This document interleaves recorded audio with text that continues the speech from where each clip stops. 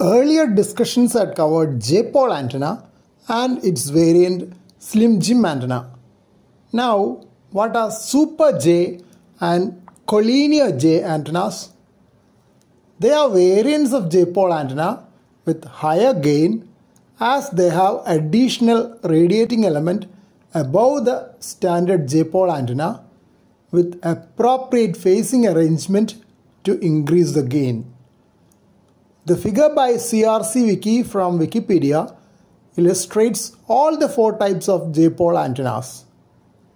While Super J uses a quarter wave phasing stub, Collinear J-pole uses a phasing coil with physical length of 0.2 wavelength, which will give a more sleek appearance for the antenna. Both versions may give a gain of about 3 dB over a conventional J-pole or half-wave antenna. Phasing section is required between two elements of the antenna for them to radiate in phase. In fact, the phasing coil is part of all collinear antennas like my CP22E VHF antenna.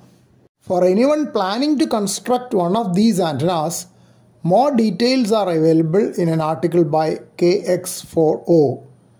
He describes the various ways in which the phasing quarter wave step can be implemented. There is also a description on how to construct the phasing coil for 2 meter collinear J-pole antenna. Several pictures of radiation pattern of the antenna obtained by software modeling are also there on that page. I was quite surprised to find that the images on Wikipedia page have been contributed by KX4O John S. Huggins aka CRC Wiki. Here's another image comparing the radiation pattern of various types of J-pole antennas shown above. Creative Commons Attribution Share Alike 4.0 International License. KX4O's phasing coil for 2 meter was made of number 12 solid copper wire wrapped 22 times around 3 4 inch PVC resulting in a coil diameter a little over 1 inch. Length of the phasing coil was 16.5 inches.